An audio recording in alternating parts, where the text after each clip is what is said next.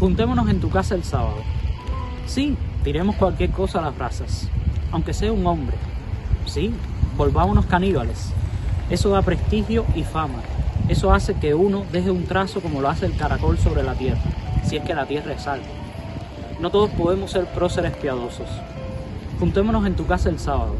Sí, fumemos bastante, fumemos de todo. Fumémonos el todo hasta que nos dé cáncer. El cáncer sí que es creacionista. Ahora mismo está haciendo que se pudra la rosa en este problema.